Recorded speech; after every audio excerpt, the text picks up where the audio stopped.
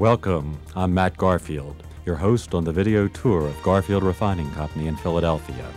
During our visit together, you will follow the progress of your precious metal scrap shipment as it goes from the receiving docks to the disbursement department, in most cases within 24 hours, and always with individualized care.